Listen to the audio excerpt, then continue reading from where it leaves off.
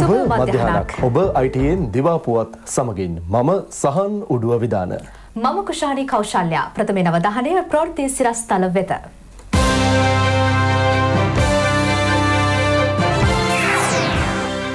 නැකතට පැලසිටුවීම දිවයින පුරා සාර්ථකව. නුවරේලිය ජනතා ගැටලු අගමැතිගේ අවධානයට. රථවාහන අනතුරු ගැන පොලිසියේ අවධානය. දිනේත් අපි විශේෂ මෙහෙම ක්‍රියාත්මක කරනු ලබනවා බීමත් සියදුරන් අධික වේගයෙන් සියපදවන පුද්ගලයන් සහ පසලකිල්ලෙන් අපරීක්ෂාවෙන් සියපදවන පුද්ගලයන් අත්අඩංගුවට ගැනීම සඳහා. කෝටි දෙකහමාරේ මැනිකක් සමග කොල්ලකරුවන් පොලිස් දැලේ. ප්‍රදේශ රැසකට පස්වරුවේ තද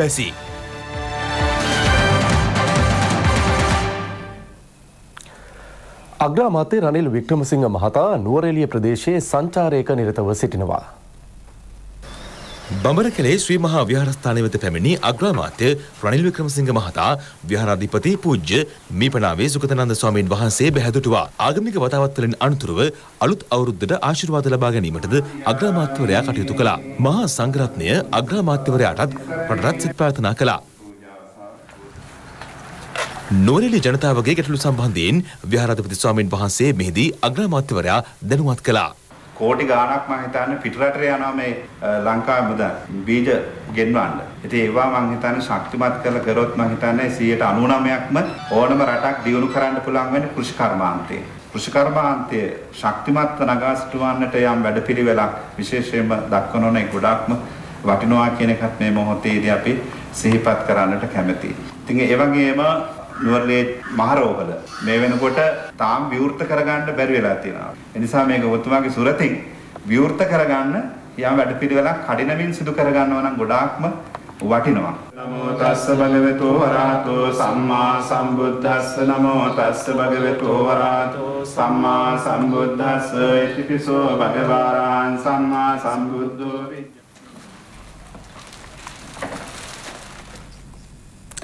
අලුත් අවුරුදු නැකත් අතරට පැල සිටුවීමේ නැකතද මෙවර එක්කර තිබීම විශේෂත්වයක්. ඒ අනුව අද පෙරවරු එකොළහයිදා හතට තුන් පොකුරු යෝකය යෙදී තිබුණා.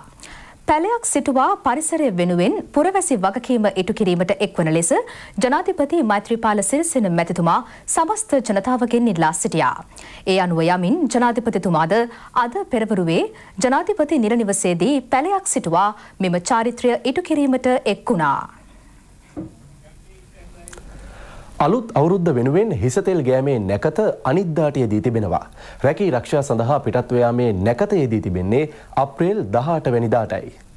හිසතෙල් ගෑමේ නැකත යෙදී ඇත්තේ අප්‍රේල් දා හත්වන පදාදා පෙරවරු හතයි හතලියටයි. නැගෙනහිර දිශාව බලා හිසට කොහොඹ පද්ද පයට කොළුන් පද්ද තබා පලාවන් පැහැති වස්ත්‍රාභරණයෙන් සැරසී කොහොඹ පත්යුෂ මිශ්‍රනානුදගා ස්නානය කිරීම යහපත් බව සඳහන්.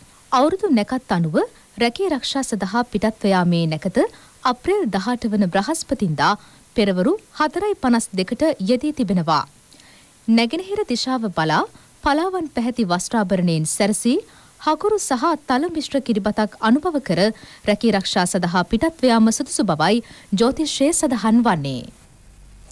ඊයේ දිනේ තුළ ඊයේ දින තුළ සිදු වූ රියානතුරු කිහිපයකින් අට දිනකු මිය ගොස් තවත් පිරිසක් තුවාල ලබා තිබෙනවා. අබන්පොළ බණ්ඩාරගම විල්කමුව අම්බලන්තොට පේදුරු තුඩුව තබුත්තේ ගම සහ මොනරාගල යන ප්‍රදේශවලදී එම අනතුරු සිදුව තිබෙන්නේ.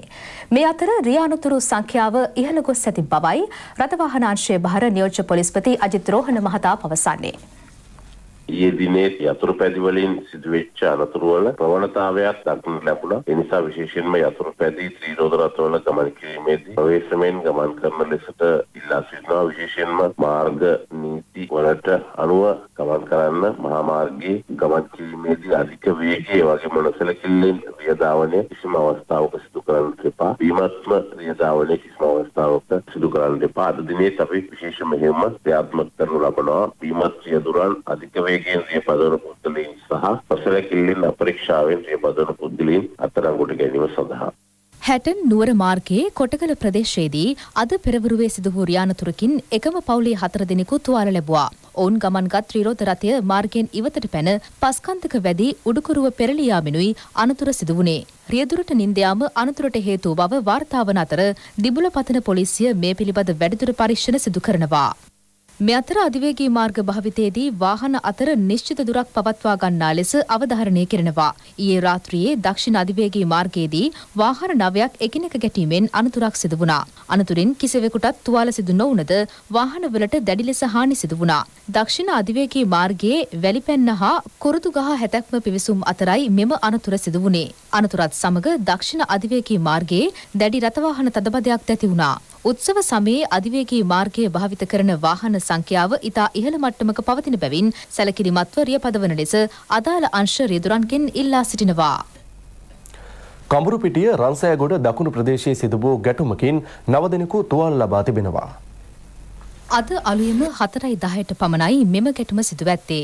ප්‍රදේශයේ සිදු වූ බෝරු පොලක් ආසන්නේ වෑන් රථයකට සහ නිවසකට ගිනි තබා ඇසිඩ් ප්‍රහාරයක් එල්ල කර තිබෙනවා. ඉන් තුවාල ලැබූ කාන්තාවන් දෙදෙනෙකු සහ පිරිමි පුද්ගලයන් හත් දෙනෙකු රෝහල්ගත කෙරුණා. මාතර අකුරැස්ස සහ කඹුරුපිටිය යන රෝහල් වෙත ඔවුන් ඇතුළත් කර ඇති බවයි පොලිසිය පවසන්නේ. පොලිසිය සහ ප්‍රදේශවාසින් එක්ව ගින්න මැඩ පවත්වා තිබෙනවා. සිදු වූ අලාභය මෙතෙක් තක්සේරු කර නැහැ. කඹුරුපිටිය පොලිසිය මේ පිළිබඳ වැඩිදුර පරීක්ෂණ සිදු කරනවා. මේ අතර අවුරුදු සමයේ ජාතික රෝහලේ හදිසි අනතුරු අංශයට ඇතුළත් කෙරුණු රෝගීන් සම්බන්ධයෙන් ජාතික රෝහලේ ප්‍රධාන හෙද පුහුණු නිලධාරිණී පුෂ්පා රම්‍යා නිසොයිසා මහත්මිය මෙසේ අදහස් පළ කළා. ඒ ITN හත්වනි පැය වැඩසටහනට එක්වෙමින්. සංඛ්‍යාලේඛන බැලුවොත් 413ක් 13 14 කියන දෙදින තුලදී පැමිණිලා තිබෙනවා. ඒක පසුගිය අවුරුද්දට සාපේක්ෂව බලනකොට 106ක වැඩිවීමක් පෙන්눔 කරත් දැන් අපේ එදිනෙදා එන රෝගීන් සංඛ්‍යාව තියෙන එතකොට බැලුවොත් අර අඩුවක් කියන එක තමයි අපිට පෙන්눔 කරන්නේ. නමුත් නේවාසික රෝගීන් සංඛ්‍යාව 203ක් ඒක 100ට 15ක් වැඩි වෙලා තියෙනවා. හැබැයි හිංසන ක්‍රියා 35ක් අඩු වෙලා තියෙනවා. ඒතකොට ඒ ගැන අපි සතුටු වෙනවා. හැබැයි ගිනි කිලි අනතුරු ගිය අවුරුදු 1යි මේ අවුරුදු 6ක් වාර්තා වෙලා තියෙනවා. ගම්බිම් බලාකිය ජනතාවට යළි පැමිණීම සඳහාද ප්‍රවාහන සේවා ක්‍රියාත්මකයි. ලංකා ගමනාගමන මණ්ඩලයද අතිරේක බස් රථ රැසක් යොදවා තිබෙනවා. මේ සම්බන්ධයෙන් අදහස් දක්වන ලංකා ගමනාගමන මණ්ඩලයේ සභාපති උපාලි මාරසිංහ මහතා. අවුරුදු සමය තුළ මහජනතාව ශ්‍රී ලංකමෙන් ප්‍රවාහන සේවා සැපීම සිදු කරමින් පවතිනවා. ගම්බිම් බලා ගිය ජනතාව නැවත එන්න ඒ වෙලාවේදී සියලුම ඩිපෝ වල දැනුම් දීලා තියෙනවා උපරිම සේවා පවත්වන්න කියලා. ඊට අමතරව මධ්‍යම ගමනාගමන මණ්ඩලයේ ප්‍රධාන කාර්යාලයේ සුවිශේෂී නිලධාරීන් කිහිප දෙනෙක් වැඩි සෙනඟක් ගැවසෙයි කියලා බලාපොරොත්තු වන හැටන් බදුල්ල මහනුවර ගාල්ල මාතර කියන තැන්වලට පිටත් කරලා යවනවා ඒ දවස්වලට විශේෂ අධීක්ෂණයක් කරන්න. ඒ ඩිපෝ වල බස් මදි නම් කොළඹ මධ්‍යම බස් නිලධාරීන් පනොත් බස් යයිවල කටයුතු කරනවා. ඔබ නැවතත් දිවාපුවත් සමගින්. කොල්ල කන ලද වටිනා මැණික් ගලක් සමග සැකකරුවෙකු අත්අඩංගුවට ගෙන තිබෙනවා. එහි වටිනාකම රුපියල් කෝටි දෙකහමාරක් බවයි පොලිසිය පවසන්නේ. පෑලියගොඩ බස්නාහිර පළාත් උතුරු අපරාධ කොට්ටාසිය වැටලීම සිදු කළා. මිගමු නගරයේ පිහිටි හෝටලයකදී අලෙවි කිරීමට රැගෙන මැණික් ගලක් සහ එහි අයිතිකරු පැහැරගෙන ගොස් අයිතිකරුගෙන් රුපියල් 50000ක් කොල්ලකා ඇති බවට මිගමුව පොලිසියට පැමිණිල්ලක් ලැබී තිබුණා. ඒ අනුව සිදු කළ විමර්ශනයෙන් අනතුරුවයි සැකකරුවන් අත්අඩංගුවට ගැනුණේ. ඔවුන් අද මිගමු මහේස්ත්‍රාත් වෙත ඉදිරිපත් කිරීමට නියමිතයි. අද පස්වරුවේ දෙවයිනේ ප්‍රදේශ රැසකට වැසි ඇතිවීමේ තත්ත්වයක් පවතින බව කාලගුණ විද්‍යා දෙපාර්තමේන්තුව පවසනවා.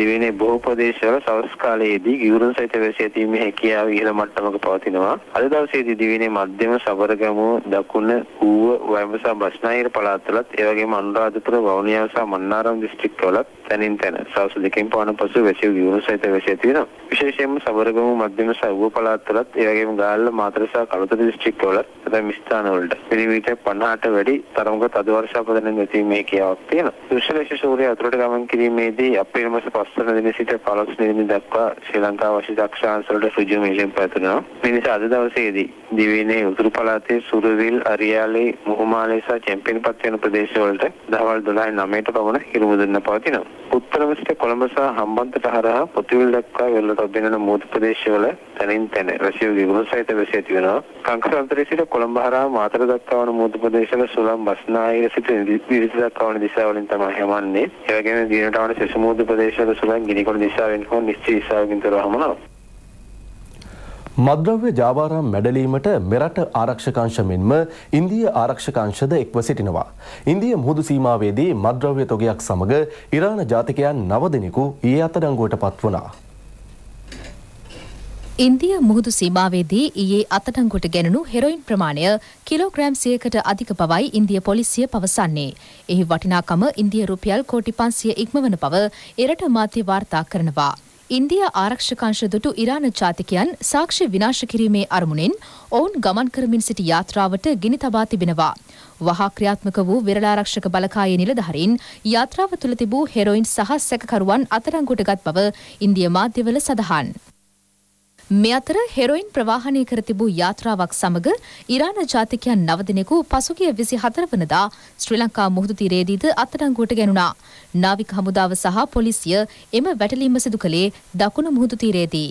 එහි තිබී අත්අඩංගුවට ගත් හෙරොයින් ප්‍රමාණය කිලෝග්‍රෑම් එකසිය හතක්.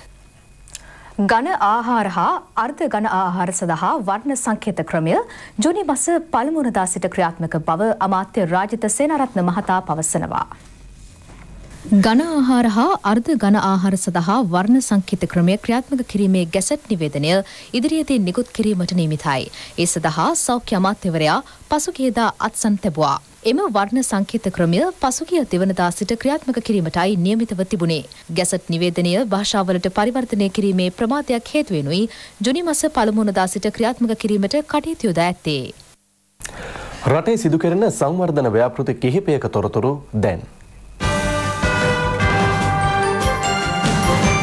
වැලිකන්ද කටුවන් මිල මාර්ගය ප්‍රතිසංස්කරණය කර ජනතා හිතයට පත් කෙරුණා. ඒ පාර්ලිමේන්තු මන්ත්‍රී වසන්ත සේනානායක මහතාගේ ප්‍රධානත්වයෙන් ගම්පෙරළිය වැඩසටහන යටතේ මේ ක්‍රියාත්මක කෙරුණේ. මිට වැය කළ මුදල රුපියල් ලක්ෂ 20ක්. මෙම මාර්ගය සංවර්ධනය කිරීම පිළිබඳව ප්‍රදේශීය ජනතාව රජයට සිය ප්‍රසාදය පළ කරනවා. තියගොඩ අධ්‍යාපන කලාපයට අයත් කිරින්ද කනිෂ්ඨ විද්‍යාලයේ නව දෙමාල් ගොඩනැගිල්ලේ ඉදිකිරීම් කටයුතු අවසන් අදිරට පැමිණ තිබෙනවා. මීට වැය කෙරෙන මුදල රුපියල් ලක්ෂ 100ක්. මෙම ගොඩනැගිල්ල සම්මන්ත්‍රණ ශාලාවකින්ද සමන්විත වන අතර නුදුරු දෙනකදී එය සිසු අයිතියට පත් කිරීම අධ්‍යාපන අමාත්‍යංශයේ අපේක්ෂාවයි. ගම්පෙරළිය ජාතික සංවර්ධන වැඩසටහන යටතේ රත්නපුර කුරුවිට ප්‍රදේශයේ මාර්ග හතරක් සංවර්ධනය කර ජනතා අයිතියට පත් කෙරුණා. ඒ පාර්ලිමේන්තු මන්ත්‍රී ඒ ඒ විජේතුංග මහතාගේ ප්‍රධානත්වයෙන් මහජන නියෝජිතයන් ඇතුළු පිරිසක් මෙම අවස්ථාවට එක්ව සිටියා. දැන් අවධානය විදෙස් පුවත් වෙත. දෙදහස් හතලිස් හතේදී ඉන්දියාව සංවර්ධිත රටක් බවට පත්කිරීම සඳහා දින සේයක සංවර්ධන මෙහෙයුමක් ක්‍රියාත්මක කිරීමට ඉන්දිය අග්‍රාමාත්‍ය නරේන්ද්‍ර මෝදි තීරණය කර තිබෙන බව ඉන්දිය මාධ්‍ය වාර්තා කරනවා. ඉන්දිය මහමැතිවරණය මේ වන විට ආරම්භ වී ඇති අතර දෙදහස් දහනමේ වසරේ ලෝක් සභාවේ ප්‍රතිඵල මැයි විසිතුම් වනදා ප්‍රකාශයට පත් කිරීමට නිමිතයි. විරකියාවට විසඳුම් ලබාදීම දළදේශය නිෂ්පාදනය සියයට දෙකයි දශම පහකින් වර්ධනය කර ගැනීම අධ්‍යාපනයේ නගා සිටුවීම දුෂ්කර පළාත්වල සෞඛ්‍ය සේවා සංවර්ධනය කිරීම මෙම සංවර්ධන මෙහෙයුමට ඇතුළත්. මහමැතිවරණයෙන් තමන් ජයගනු ඇති බවත් එම ජයග්‍රහණය හරහා රටේ ජනතාවට සංවර්ධිත දේශයක් නිර්මාණය කිරීමට හැකිවනු ඇති බවත් ඉන්දියා ග්‍රාමාත්‍යවරයා සඳහන් කර තිබෙනවා. සුඩාන හමුදාව එරට හිටපු රාජ්‍ය නිලධහරින් පිරිසක් අතරංගුවට ගෙන තිබෙනවා. පසුගේදා සුඩාන හිටපු ජනාධිපති ඔමර් අල්බශීර් ඉවත් කර එරට හමුදාව පාලන බලයට පත් වුණා. ඊට විරෝධය පළ කරමින් ජනතාව විරෝධතාවල නිරත වනවා. එරට මාධ්‍ය ප්‍රකාශකවරයා කියා සිටියේ සුඩානයේ දේශපාලන වෙනසක් ඇති කරන බවත් විරෝධතාකරුවන්ට කිසිදු බලපෑමක් නොකරන බවත්ය. එක්සත් ජාතින්ගේ සංවිධානයේ විශේෂ නියෝජිතයෙකු විශේෂ සාකච්ඡාවක් සඳහා සිරියාවේ ඩැමස්කස් අගනුවරට පැමිණියා. මේ සඳහා සිරියා නියෝජ්‍ය අග්‍රාමාත්‍යවරයා මෙන්ම විදේශ අමාත්‍යවරයාද එක්ව සිටියා. සිරියාවේ පවතින අර්බුදවලට විසඳුම් ලබා ගැනීම සඳහායි මෙම සාකච්ඡා පැවැත්වුණේ. IS සංවිධානය යුරෝපයේ නව ප්‍රහාර රැසක් සැලසුම් කරන බව බ්‍රිතාන්‍ය පුවත්පතක් වාර්තා කර තිබෙනවා. පැරිසියේ පුද්ගලින් එකසිය තිස් දෙනෙකුට මරුකැද වූ ත්‍රස්ත ප්‍රහාරය වැනි ප්‍රහාරයක් මෙලෙස සැලසුම් කර ඇති බවයි එම පුවත්පතේ වැඩිදුරටත් සඳහන් කර ඇත්තේ.